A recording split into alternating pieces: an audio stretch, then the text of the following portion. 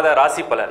So two thousand eighteen May மாத ராசி பலன் ஒவ்வொரு ராசிக்கும் அப்படி இருக்குது ஒவ்வொரு லக்னத்துக்கும் அப்படி இருக்குது அதுக்கு முன்னாடி நீங்கள் வந்து இந்த ராசி பலனை பார்க்கும்போது எனக்கு கொஞ்சம் பொருந்தலையே எனக்கு இது நடக்கலையே எனக்கு இது நிறைய நடக்குது அப்படின்னு நினச்சிங்கன்னா உங்கள் ராசி உங்கள் லக்னம் இது ரெண்டுத்துக்குமே நீங்கள் பலனை பாருங்கள் அதுக்கப்புறம் உங்களோட பர்த் சாட் உங்களோட தசா புத்தி இது அக்யூரேட்டாக பார்த்தீங்கன்னா சரியாக உங்களுக்கு என்ன நடக்குதுன்றதை நீங்கள் புரிஞ்சிக்க முடியும்.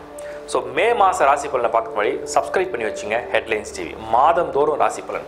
கிட்டத்தட்ட மூணு லட்சம் பேர் சப்ஸ்கிரைப் பண்ணி மாதந்தோறும் அந்த ராசி பலனை ஏதோ ஒரு வகையில் பயனடைகிறாங்க உங்கள் ஃப்ரெண்ட்ஸோட உங்கள் ரிலேஷன்ஸோடையும் ஷேர் பண்ணுங்கள் மிதுன ராசி மே மாத பலன்கள். ஸோ மிதுன ராசியை பொறுத்த வரைக்கும் உங்களுடைய ராசிநாதன் இந்த புதன் மூன்று வீடுகளில் வந்து பயணம் பண்ண போகிறார் ஃபார் எக்ஸாம்பிள் நைன்த் ஆஃப் மேல வந்து இந்த புதன் வந்து மேஷத்துலேயும் இப்போ நீச்சம் அடை நீச்சம் அடைஞ்சிருக்கார் நீச்சம்லேருந்து மேஷத்துக்கு வருவார். மேஷத்துலேருந்து திரும்ப வந்து ரிஷபத்துக்கு வந்து பார்த்தீங்கன்னா டுவெண்ட்டி செவன்த் ஆஃப் மே இப்போது நகர்ந்து கொண்டு இருக்கிற இந்த புதன் வந்து உங்கள் ராசிநாதனா உங்கள் லக்னநாதனா மிதன லக்னத்துக்கும் அதிபதியாக இருக்கிறதுனால உங்கள் வாழ்க்கை வந்து நகர்ந்து கொண்டே இருக்கும். ஒரு புது முயற்சிகள் இல்லை வந்து ட்ராவல் அப்ராட் இல்லைனா வந்து மைக்ரேஷன் வீடு மாற்றுறது இந்த மாதிரி ஏதோ ஒரு நகர்வு இருக்குது அந்த கிரகம் எப்படி நகருதோ அப்படி நீ உங்களே அது நகர்த்தும். வாழ்க்கையில் வந்து மனசையும் வந்து கொஞ்சம் திருப்பம் செய்யும். இது வரைக்கும் எதுலையோ ஒன்றில் ஸ்டிக் பண்ணியிருந்தீங்கன்னா இந்த முறை அதுலேருந்து டைவர்ஷன் எடுத்து வேற இடத்துல திருப்ப முடியாமையும் இதெல்லாம் இந்த புதனுக்கு வந்து பண்ணி கொடுக்கும். அதே மாதிரி இந்த புதன் நீச்சம் அடைஞ்சு இருக்கிறது இந்த ராசியோடைய இந்த மிதன ராசி மிதன லக்னத்தை பொறுத்த வரைக்கும் இந்த புதன் வந்து நீச்சம் அடைஞ்ச புதனாக இருந்து பத்தாவது வீட்டில் இருந்தாலும் கூட அவருடைய பார்வையும் அவருடைய செயற்கையும் அவருடைய வீடும் வந்து பலம் அதிகம். அப்படி இருக்கும்பொழுது பிஸ்னஸ் கரியரில் வந்து இது வந்து ஒன்றும் பெரிய டவுன்ஃபால் கிடையாது. நீச்சமாக இருக்கிறதுனால எல்லாமே எஃபர்ட் போட்டு பண்ணுற மாதிரி இருக்கும் அவ்வளோதான் மற்றபடி வேறு ஒன்றும் நெகட்டிவ் கிடையாது. ஹார்ட் ஒர்க் நிறைய ஒர்க் லோடு ஜாஸ்தியாகும் ரெஸ்பான்சிபிலிட்டிஸ் கூடுதலாக இருக்கும் பட் பண்ண முடியாமல் கொஞ்சம் டயர்டாக இருக்க மாதிரி தான் இருக்கும். இந்த புதன் வந்து நகர்ந்துடும் எப்போ நகர்ந்தாலும் நைன்த் வரைக்கும் தான் அந்த நீச்சமான இடத்துல இருப்பார். ஒன்பதாம் தேதி சரியாக உங்களுடைய ப்ராஃபிட் ஹவுஸ் லெவன்த் ஹவுஸில் டிரான்சிட் ஆவார். இந்த லெவன்த் ஹவுஸில் இந்த புதன் டிரான்சிட் ஆகும்போது அந்த வீட்டுக்கு அதிபதி யாருன்னா செவ்வாய். இந்த செவ்வாய் இந்த மிதனராசி மிதன லக்னத்துக்கு யோகம் இல்லாத ஒரு கிரகம். ஆனால் அது உச்சம் அடையுது அப்படி உச்சம் அடைஞ்சு இந்த புதனம் வந்து அந்த வீட்டில் இருக்கும்போது இது என்ன மாதிரியான பலனை பண்ணும்? சுய ஜாதகத்தில் செவ்வாயோ அல்லது புதனோ கெட்டு போயிருந்தால் அவர்களுக்கு சில எதிர்மறையான பலன்கள் நடக்க வாய்ப்புகள் உண்டு. ஹண்ட்ரட் பர்சன்ட் நடக்கும் கிடையாது. பட் உங்கள் பர்த் சார்ட்டில் புதனும் செவ்வாயும் கெட்டு போல. செவ்வாயும் பலகீனமாக இருக்கார் புதன் உச்சம் அடைஞ்சிருக்கார் இல்லை ஆட்சி பலத்தோடு இருக்கார் இல்லை ஸ்தான பலம் பெற்றிருக்காருன்னா இந்த புதன் செவ்வாயுடைய இந்த இந்த இந்த காம்பினேஷன் அதாவது செவ்வாய் உச்சம் பெற்று புதன் செவ்வாயுடைய வீட்டில் நகர்ந்து இந்த ஒன்பதாம் தேதி வரும்போது இது என்ன மாதிரியான பலனை பண்ணும்னா எதிர்ப்புகளையும் எதிரிகளையும் வீழ்த்தும். ஏன்னா எட்டாம் இடத்துல வந்து ஒரு அசுப கோல் வந்து உச்சம் அடையும் போது அது ஆறுக்குடி கிரகமாக இருந்து அஷ்டம ஸ்தானத்தில் உச்சம் பெறும் பொழுது உங்களுக்கு அந்த கஷ்டங்களை வந்து நிவர்த்தி பண்ணும். விபரீதமான ராஜ்யோகங்களையும் செயல்படுத்த ஆரம்பிக்கும். அதே மாதிரி லெவன்த் ஹவுஸில் இந்த புதன் இருக்குது ப்ராஃபிட் லாபங்களையும் ஆதாயங்களையும் கொண்டு வரும். இது வந்து பெரிய ரொம்ப பெரிய அட்வான்டேஜ் அதுவும் எட்டாவது வீடுங்கிறது எல்லாரும் நெகட்டிவ் நினைக்கிறாங்க. அதில் நிறைய சூட்சமங்கள் இருக்கு. செவ்வாய் உச்சம் பெற்று இந்த எட்டாவது வீட்டில் இருந்து அந்த வீட்டுக்கு அதிபதியான சனி வந்து ஏழாம் இடத்துல இருக்கும் பொழுது இந்த எட்டாவது வீடு என்னன்னா திடீர் மறைமுக அதிர்ஷ்டம்னு சொல்லுவாங்க. மறைமுக அதிர்ஷ்டம்னா இதில் வர சனி ரெட்ரோகிரேஷன் பின்னாடி போறாரு. ஸோ பாஸ்ட்ல வந்து நீங்கள் யாருக்காவது கடன் கொடுத்துருக்கீங்க? இல்லை பாஸ்ட்டில் நீங்கள் யாருக்காவது வந்து பணத்தை கொடுத்து நம்பிக்கையாக வச்சிருக்க சொல்லியிருக்கீங்க. இல்லை பிஸ்னஸில் வந்து பார்ட்னர்ஷிப் போட்டிருக்கீங்கன்னா அது வந்து ஒரு செட்டில்மெண்ட் ஆகாமல் இழுத்துக்கிட்டே இருக்குது அப்படின்னு சொன்னால் வழக்கு நடந்துகிட்டே இருக்குன்னு சொன்னால் அது பஞ்சாயத்தில் வந்து முடியும். ரெண்டாவது அந்த வழக்குகள் வந்து உங்களுக்கு சாதகமாகும். அந்த செட்டில்மெண்ட்டும் உங்களுக்கு வந்து சேரும்.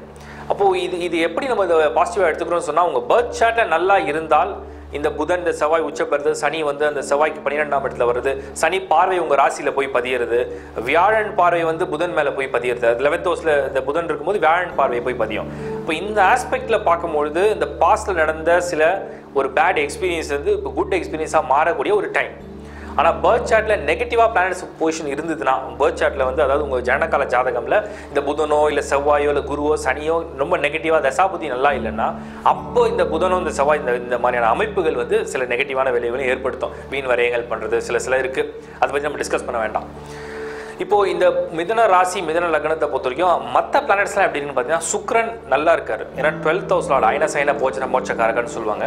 இந்த டுவெல்த் ஹவுஸ் லார்ட் அப்படின்னு சொல்லக்கூடிய சுக்ரன் வந்து உங்களுக்கு காலத்தை வந்து ரொம்ப இனிமையாக ஸ்மூத்தாக இந்த மே மாதத்தை கழிக்க வைப்பா அப்போ நிறைய சுற்றுலா தான் இருக்குது ட்ராவல் நிறைய ட்ராவல் கொடுக்கும் நிறைய டூரிசம் பண்ண வைக்கும் நிறைய என்ஜாய்மெண்ட்ஸ் பண்ண வைக்கும்.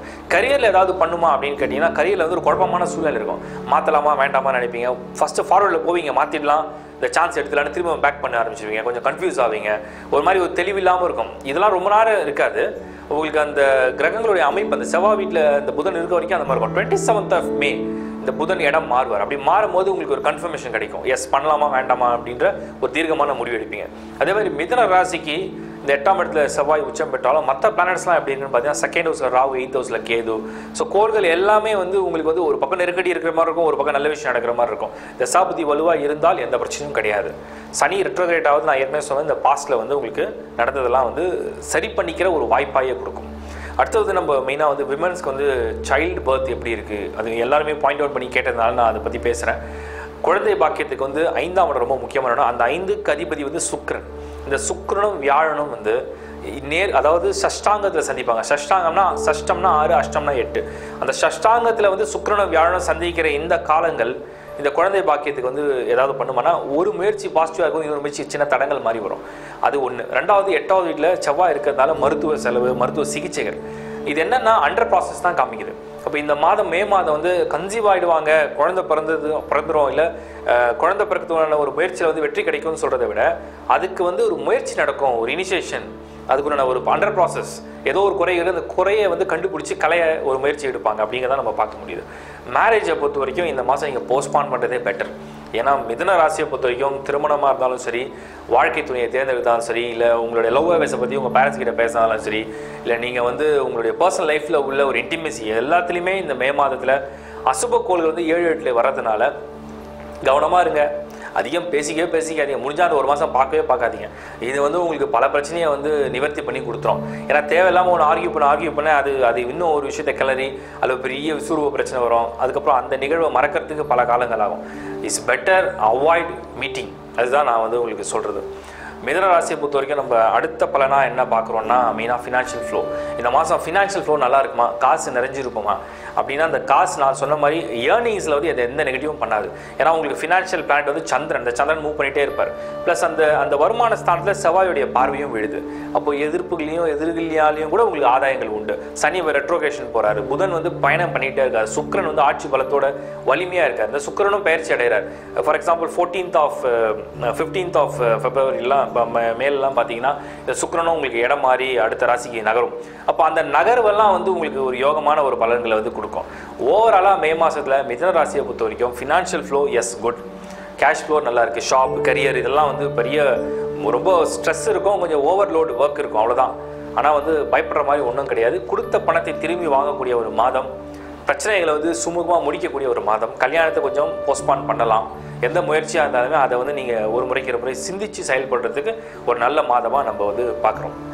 Dear friends sisters and brothers இப்போ நீங்கள் பார்த்தது எல்லாமே ஒரு பொதுவான பலன் தான் உங்கள் ராசி உங்கள் லக்னத்துக்கு நீங்களே இந்த மாதம் எப்படி இருக்குன்னு இந்த வீடியோவை பார்த்து நீங்கள் தெரிஞ்சுக்கலாம். இதை தாண்டி உங்களுடைய தசா புத்தி உங்களுடைய பேர்த் சார்ட்டில் உள்ள கோள்களுடைய யோகம் அவயோகங்கள் அதுக்கு பிறகு நடைமுறை நடக்கக்கூடிய பலன்களுடைய கம்பேரிஷன் இதெல்லாம் பார்த்து உங்களுக்கு வந்து மேரேஜ் இஷ்யூஸ் இல்லைனா கல்யாணத்தில் ஏதாவது ப்ராப்ளம் இருக்குது அடுத்தது வந்து உங்களோட எஜுகேஷனில் என்ன கோர்ஸ் சூஸ் பண்ணுறது எது ஃபியூச்சராக அமையும் உங்களோட ஜாப் இதில் சேஞ்ச் வருமா உங்களுக்கு க்ரோத் இருக்கா லைஃப்பில் ஃபினான்ஷியல் ஃப்ளோ எப்படி இருக்கும் கடன் எப்படி சால்வ் பண்ணுறது கடன் பிரச்சனை இரு வருமா வராதா எதிர்காலம் எப்படி அமையும்? அதே மாதிரி உங்களுடைய ஹெல்த் உங்களோட பேரண்ட்ஸுடைய ஹெல்த் ரிலேஷன்ஷிப் ப்ராப்ளம் இது மாதிரி எந்த வகையான இஷ்யூவாக இருந்தாலும் அது வந்து உங்களுடைய பேர்த் சார்ட்டை கம்பேர் பண்ணி தான் நம்ம அக்யூரேட்டாக பிடிக்க பண்ண முடியும்.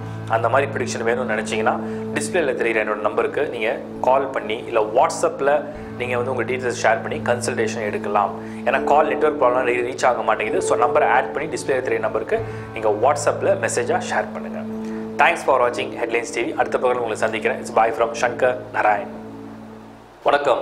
சித்ரா பௌர்ணமி. இந்த சித்ரா பௌர்ணமி அன்னைக்கு என்ன பிரார்த்தனை செய்யலாம்? எப்படி வந்து நம்ம சந்திரனை வழிபட்டா நம்மளோட தோஷங்கள் நம்மளுடைய பாவங்கள் நம்மளுடைய தடைகள் நமக்கு இருக்கக்கூடிய நெருக்கடிகள் கடன் பிரச்சனைகள் இதெல்லாம் எப்படி குறையும்? சி ஃபர்ஸ்ட் சிம்பிள் நீங்கள் பௌர்ணமினா என்னன்னு தெரிஞ்சுங்க. சந்திரன் ஒரு மாதம் முழுக்க ஒரே ஒரு நாள் மட்டும்தான் முழு சக்தியோட ஃபுல் எனர்ஜியோட அந்த சந்திரன் இருப்பார். அப்போ அந்த சந்திரனுடைய முழு சக்தி நம்மளோட மேலே வந்து வீசும் போது அல்லது நம்மளுடைய பிரார்த்தனையை வந்து கூர்ந்து கவனிக்கும் பொழுது அது தீர்க்கப்படும். எப்படி இது தீர்க்கப்படும்? வெரி சிம்பிள் இந்த மனநிலைன்னு சொல்கிறோம் இல்லையா? மனசு.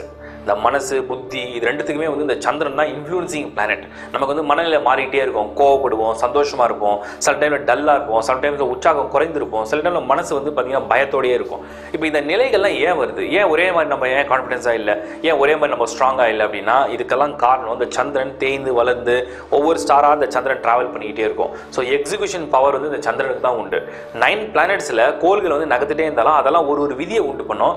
சந்திரன் தான் அதை நடைமுறையில் அப்ளை பண்ணி கொடுக்கும். ஏன்னா தான் வேகமாக சுழலக்கூடிய ஒரு கோள் அப்போ ஏன் வேகமாக சுழலக்கூடிய கோள் வந்து அதுக்கு பலனை கொடுக்குதுன்னா நம்மளுடைய மனம் தானே நமக்கு மாற்றத்துக்கு அதிபதி.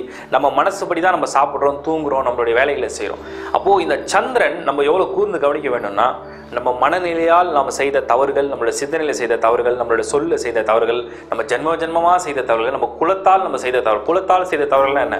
சந்திரன்னா தாய்க்கு அதிபதி. இப்போ தாய் மூலியமாக தான் நம்ம வந்து பிறவி எடுக்கிறோம். அந்த மாதிரி நம்மளோட குலம் நம்மளுடைய மூதாதிரிகளுக்கும் நமக்கு மூதாதிரிகளுக்கும் மூதாதிரிகளை நீங்கள் பின்னோக்கி போய் பார்த்தீங்கன்னா நம்மளுடைய குலம் ஏதோ ஒரு இடத்துல இருக்குது அந்த குலத்தின் வழியிலே வந்த பாவ கர்மாக்கள் வந்து நமக்கு வந்து இன்னும் தொலையாமல் இருக்குது அது வழியில் ஏதோ சில கசப்பு அனுபவங்கள் இன்னும் இருக்குது அதெல்லாம் தொலையணும்னு சொன்னால் வருடம் தோறும் வரக்கூடிய இந்த சித்ரா பௌர்ணமி அதாவது சந்திரன் முழு சக்தி பெற்று சித்திரை மாதத்துல வரக்கூடிய அதாவது சூரியனும் உச்சமாக இருந்து அந்த சந்திரனும் உச்சம் அடையக்கூடிய அந்த மாதத்தை தேர்ந்தெடுத்து நீங்க சித்ரா பௌர்ணமி அன்னைக்கு இந்த சந்திரன் வந்து சூரியனுக்கு விலகி ஏழாவது டிகிரி அதாவது சொல்லு செவன்த் ஹவுஸ்ல வந்து நேர்கோட்டில் சந்திக்கக்கூடிய இடம்.